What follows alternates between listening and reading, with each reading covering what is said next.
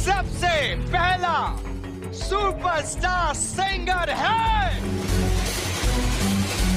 दोस्तों, superstar singer season three का grand finale 4 अगस्त को टेलीकास्ट किया जाने वाला है और इसके बीच पर जो भी कंटेस्टेंट नो कंटेस्टेंट फिनाले में परफॉर्मेंस देते हुए दिखाई देंगे। इसके बीच में आपको जजेस को इस बार मज़बूत कर देने वाला परफॉर्मेंस दे रहा है सभी कंटेस्टेंट क्योंकि जजेस कंफ्यूज में पड़ गए हैं कौन सा कंटेस्टेंट को विनर बनाया जाए। तो देखा गया है परफॉर्मेंस के बेस पर देखा जाए तो अथप सबसे आगे विनर बनने वाला है, और मेडल की देखा जाए तो शुभ सूत्रधार विनर बनने वाला है।